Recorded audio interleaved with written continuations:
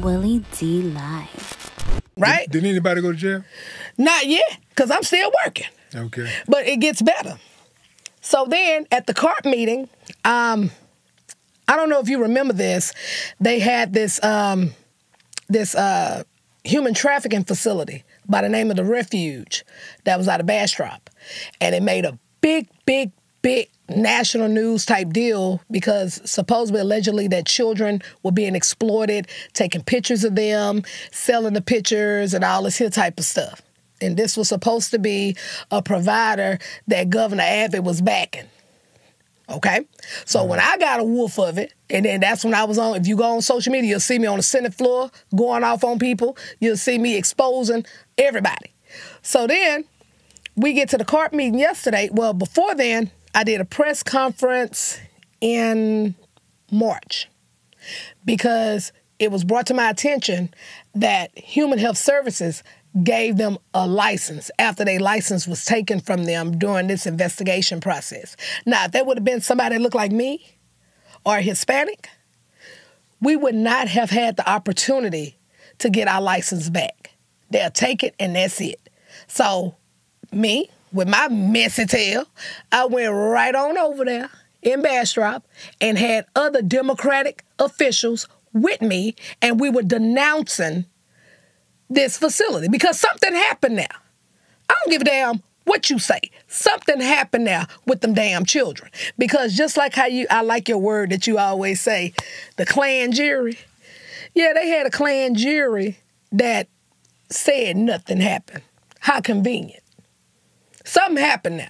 So at the end of the day, you didn't close black providers and and brown providers over something minute, like like a not having signatures or you know a couple deficiencies that they have. The exit the exit light out. Yes, but then you mm. turn around and you get these sap suckers another chance to get a license. So if you're gonna do that for them, you need to do it for everybody else. So when I asked that question at the meeting, licensing human health services, pew, they got on up out of there.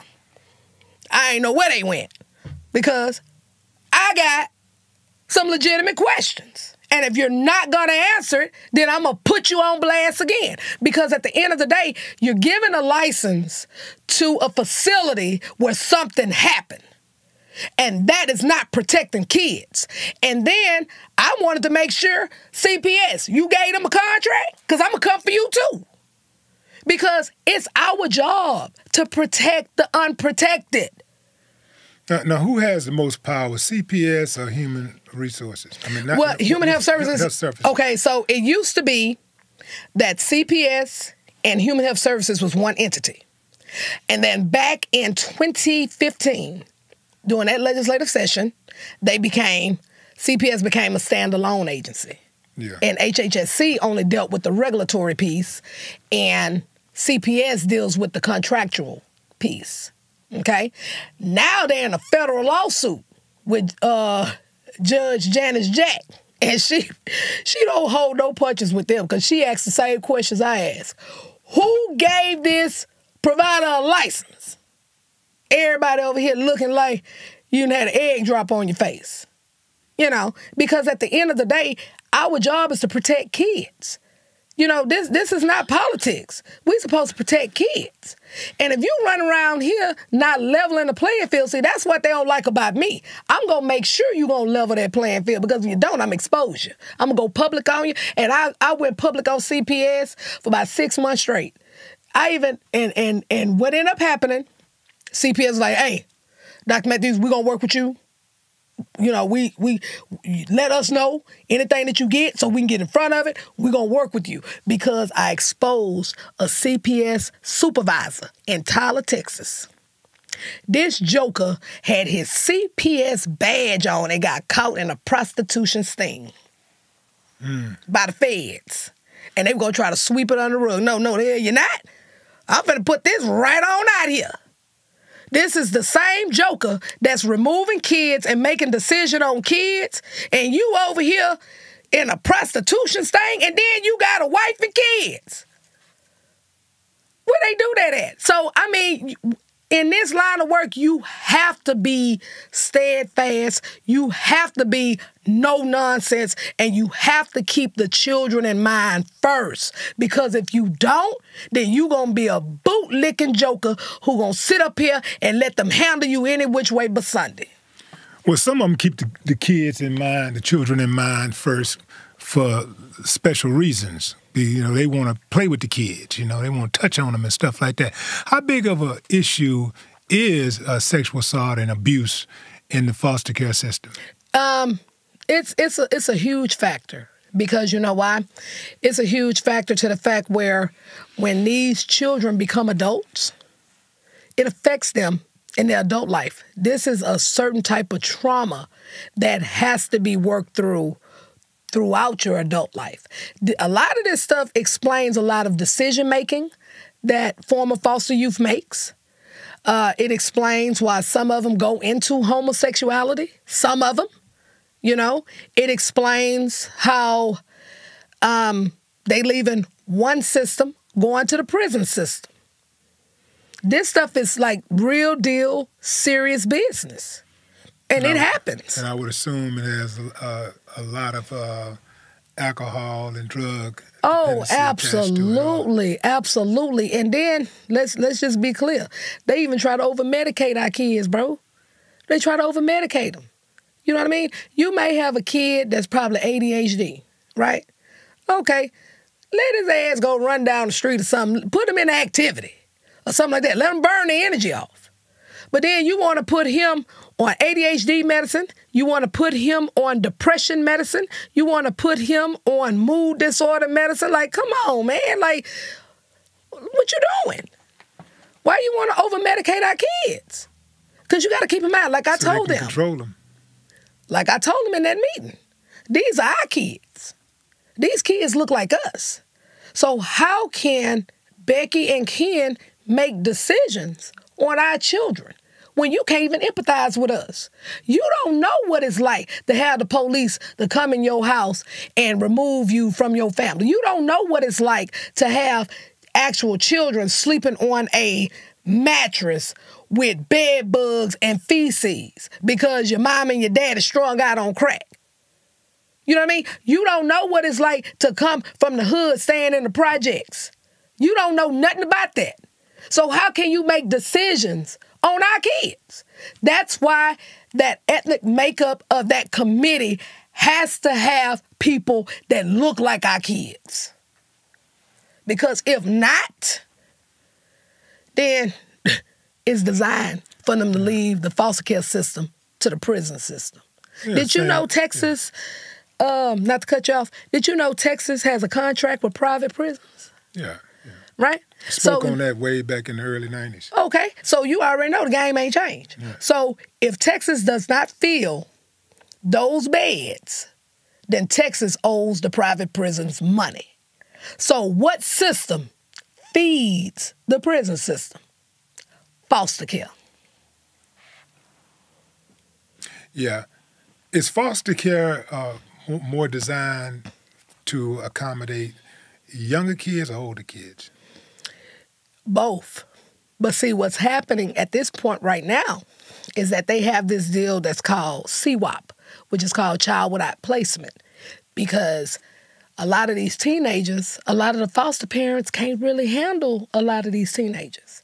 So then what happens? They stand in CPS offices with the caseworker, or they stand in CWOP, which could be a church or it could be, you know, some type of facility with the caseworkers where they have different shifts. And then they age out and become homeless.